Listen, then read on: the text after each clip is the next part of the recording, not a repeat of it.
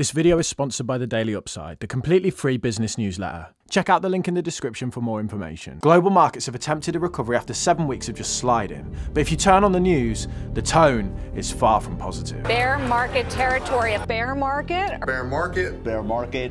If you go down in the woods today. If you go down to the woods today, stock market declines you will find, as the grisly realization sets in that the stock market bears are having a picnic with our portfolios. Not only bear market territory, but some of them are in crash territory. And the returns that were on offer in 2020 are at polar opposite to what is on offer today. Bull markets do not last forever. But is mainstream media just looking to pander to retail investors who have seen all their gains blew up in their face? Or is investing in the markets right now all poo, no Winnie? For every bear that ever there was, will gather there for certain because.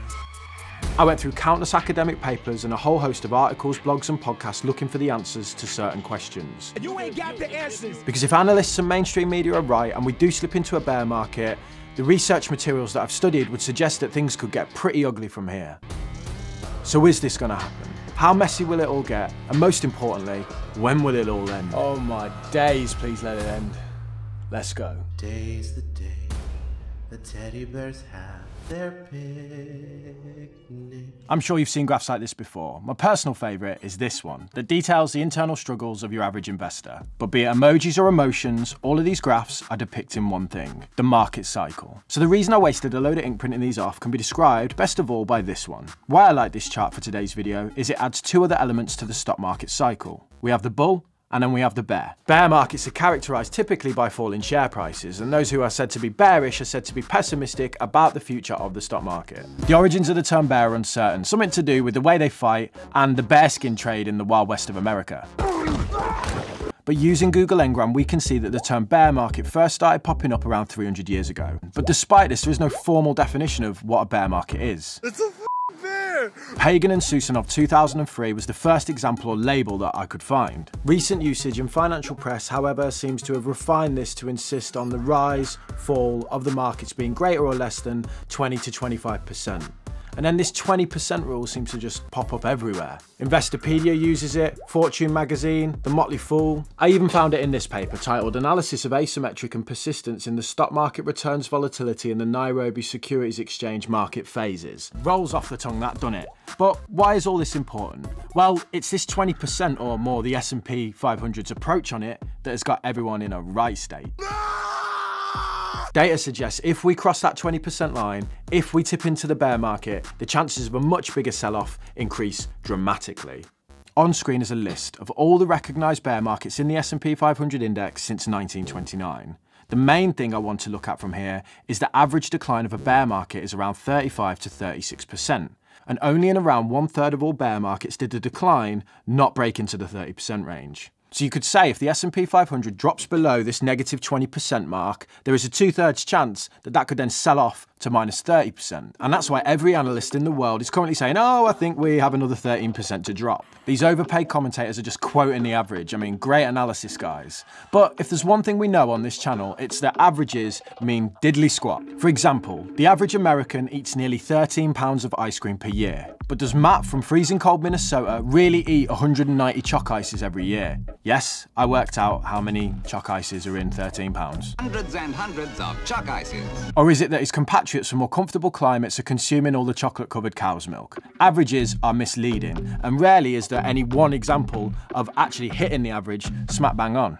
Looking at this table again, only two examples actually had bear markets that hit the 35 to 36% average. But one thing is clear, if the market touches the dreaded 20% mark, there is likely to be more downward pressure and more selling. This is a paper by Cesar Alvarez that discusses the likelihood of a sell-off in a market. He explains across his data, he found that any sell-off that is 10% or more has a 49% chance of evolving into a bear market. So in 50% of cases, these 10% declines turned into bear markets. And considering the fact that we're sat at about minus 17.9% at the time of recording this, if I had to make a bet, I would say that we could slip into bear market territory any day now. Maybe even by the time I posted this video. Nope, markets are up. But let's face it, we're all nursing losses. I'm sat here talking about the S&P 500 dropping 20%. I know some of you are nursing 80% losses on some of the growth stock positions, so what's another 10% amongst friends? Just throw it on the pile. I think a better question to ask, and one that's got far more interesting answers, is how long is this all going to last? It's like doing a plank in the gym. I can take the pain as long as I know how long is left on the clock. Am I trying to kid? I don't do planks. Anyway, Back to the data. The average bear market lasts 298 days, or 9.6 months, according to data compiled by Ned Davis Research. But again, averages, ice creams, you know. We can see from the data that the shortest bear was the one we experienced around COVID which lasted all of 33 days, and the longest are those in the 70s and 80s, when disastrous monetary policy and runaway inflation led to a rather crap decade for investors. Sounds ominously familiar, doesn't it? But I would challenge this data because they seem to split the dot-com bubble into two sections. Unsatisfied with the use of these averages, I hit the papers again, in search of any other measures I could find. I found this. All of the papers I'm referencing, by the way, are linked in the description for you. Some of them are behind paywalls because I had to pay for them, but I've tried where I can to find PDF versions for free and I'll try and link those for you. Speaking of free sources of information, actually, Today's video is sponsored by the Daily Upside, the completely free business newsletter that is emailed to your email inbox every day. I honestly love the newsletter and its ability to condense all the major finance stories into a quick five minute read. The tone's great with bits of humour sprinkled in, and they cover a broad range of topics, regularly covering both the UK and US based news, as well as investing, crypto, and traditional finance. For example, this piece covering the recent tax on profits on energy companies in the UK or this one that discusses a load of money being raised within the crypto space. I honestly approached them and asked them if they wanted to sponsor the channel because I read the newsletter every day. So check out the link in the description. As I said, it's completely free to sign up. You just register using that link. And if you don't like it, you could always unsubscribe if you want to. Okay, back to the video. This paper says that the expected duration of bear markets is only 15% of the bull market's duration. If that's the case, how lovely would that be? All we need to do is look at the previous bull run and, you know, work out 15% and then we've got our timeline. This bull market is the longest period of uninterrupted gains in American history. The longest bull run in history, which by this measure will means we'll then have the longest bear market in history. It's not ideal, is it? But hold on a minute. We experienced a bear market in March 2020 off the back of one of the longest bull runs ever, and that thing only lasted 33 days, so what gives? Many will rightfully say at this point that the Fed stepped in and started dishing out dollars like monopoly money, and that in reality, the bear market was artificially cut short by all the financial stimulus. Let's be honest with ourselves, this graph and the gains we made make absolutely no sense. So what we're probably finding now is the landing place of the almighty bucket that central banks all over the world kick down the road.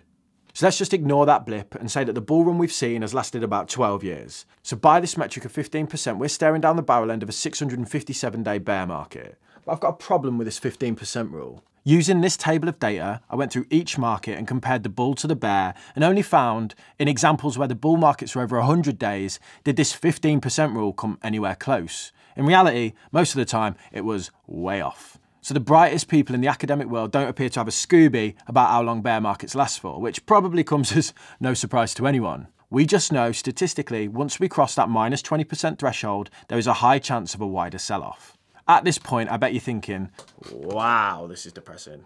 But one thing I try and be on this channel is positive, when the rest of the investing world tends to be really negative. So while I was dissecting all this data on bear markets, I put together a few key takeaways that I think are a bit more positive that mainstream media often miss. The media would have you thinking that bear markets are rare, because there's only been 26 in the S&P 500's history. In reality, 26 times is a lot. That's one on average every 3.5 years. I think the unprecedented bull run from say 2009 to now has just left people feeling all kinds of spoilt and not used to seeing dips in the markets. When in reality, the averages, which mean nothing, tell us that Drops in the market are a feature, not a bug. For example, coming back to this study, it shows there have been 154 declines in the S&P 500 price of 5% since 1929. 92% of years have had a 5% drop, and there's been 90 10% sell-offs since 1929. Let's say you've got an investing timeline of 30 years. Well, you should expect reasonably to see 8.5 dips in the S&P 500 over that time that are 20% or over.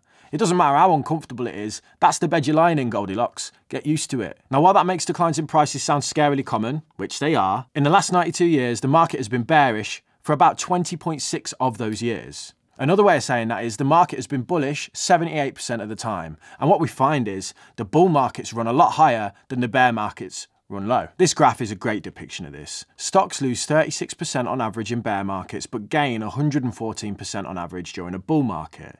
The ups are better than the downs, which might lead some of you to go, okay, well, I'll just sit this one out, wait for the bear market to end. But data would suggest that that is misguided. Half of the best days to invest in the market in the last 20 years occurred during the bear market. Let that sink in. Half of all the best days to invest in the market happen when everything's going to the wall. Darkest before the dawn and all that. As well as that, 34% of the other best days happen in the first two months of the bull run, when people aren't even sure if the market is in a bull run or not. More just sitting there going, nah, this is a false alarm, right here on the graph. But what happens if there's a problem? There's always a problem. What happens if the market just doesn't recover?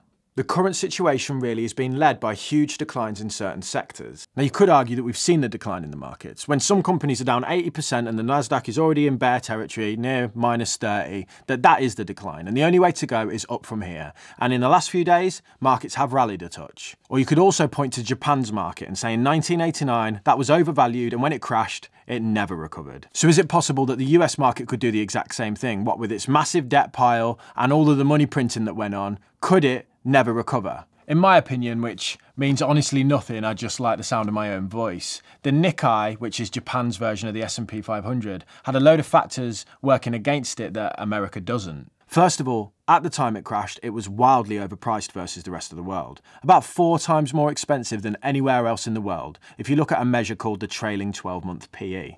America was expensive in December 2021, sure, but nothing compared to what Japan was in the past. America was a 27 versus the global average of 20, whereas back in the day, Japan was a 60 versus the global average of 15 at the time. The S&P now sits at around 19, which is above historical averages, yes. And while that implies that the market is still expensive, it might not be in as bad a shape as people think. There are other factors with Japan that I won't go into in too much detail, but headlines could include oldest average population in the world, zombie banks and the support companies that should have died off, link to an article below for you if you want to know what the hell a zombie company is, failure to act quick enough, and a lack of innovation. Sounds weird, doesn't it, to say lack of innovation and Japan in the same sentence? I mean, this is the place, after all, that delivered us the eyedrop funnel and the silent karaoke. But go take a look at the list of the biggest companies in Japan and find me one that wasn't created in the 1900s. America seems to constantly roll out massive businesses that just change everyone's lives. Will American markets ever recover? I don't know. In the same way, I can't control a shift of power away from America to China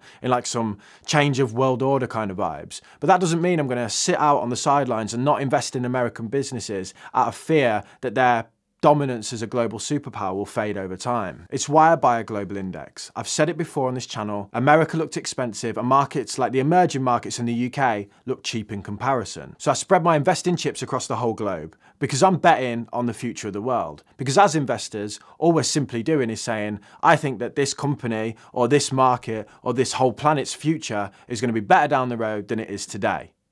And as human beings, that's kind of what we need to do. If we don't think that the future is going to be better than today, what's the point? I mean, we've got to be excited about the future. We've got to do things that make us want to live. You know, it cannot always be about problems every day. I mean, do you want to wake up every morning and everything's just a problem? Well, what, in, what inspires you and what makes you excited about the future? There's got to be some things like that. This is why I made this video today, because every time I turn on CNBC, there's some pleb talking about the bear market, and if we hit the minus 20% mark, we're all doomed. And I think, you know, that is the case that if we hit minus 20%, there could be a wider sell-off, but that also glosses over some of the positives that have come out of bear markets in recent history. If you invest for 30 years on average, you're probably going to see nine bear markets in your time, with a whole host of 5 and 10% declines along the way. Ask yourself this, are you going to spend a quarter of your investing life right here on the emotional squiggle line. Because to me, that sounds unbearable. Save the worst. Until last, Damien. Finish on a high, mate. Well done.